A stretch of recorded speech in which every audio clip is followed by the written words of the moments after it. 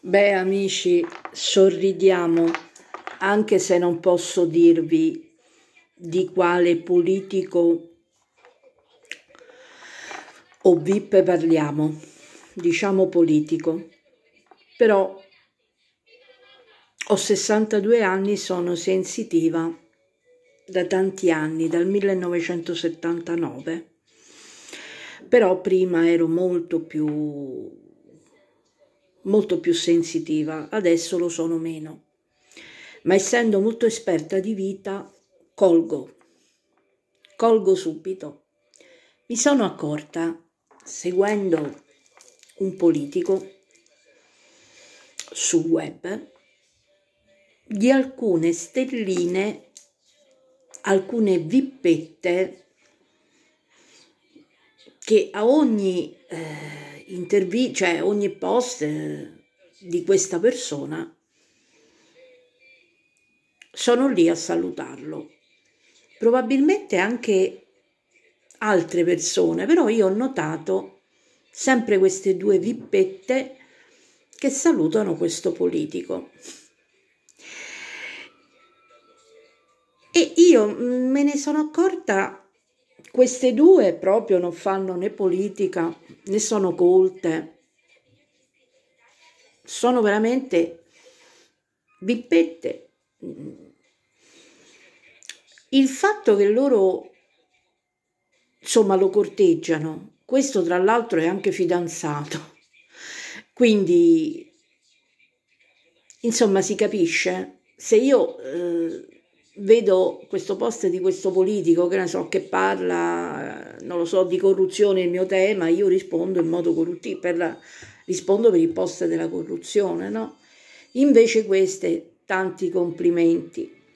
Intanto ripeto è fidanzato quindi il profilo poi non è un VIP perché a un VIP tu gli puoi anche dire quanto sei bello quanto sei bravo. Mm, a un politico che lo corteggi su un profilo che lo vedono tutti, ma la cosa più bella è che c'è una VIP sempre spogliata che non ne ha bisogno perché è molto è carina, è brava, sa ballare e fa sempre su Instagram delle foto sempre più più sensuali, ma insomma stiamo non dico pornografia perché eh, si può chiamare foto nudo artistico, però insomma abbastanza pesante sinceramente, cioè, non lo so, fai delle foto, ma cioè le pubblichi come se tu non hai altre alternative e invece il cervello ce l'hai.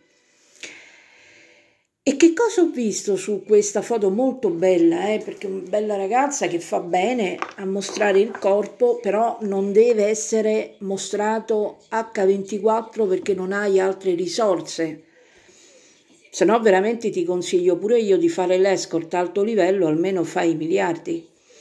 Ci sono un po' dei controsensi con queste VIP, no? E, e ho visto il politico che eh, ha messo like. Eccola dove sta l'ipocrisia, capito? Eccola dove sta l'ipocrisia. Che noi sono tanti anni che abbiamo la corruzione nei tribunali, specialmente in politica, storie del passato, perché c'è molta lussuria, perché gli uomini sono tutti puttanieri e se non vanno a donne, a ragazzi giovani, a ragazze giovani, vanno a trans o vanno a gay, c'è depravazione.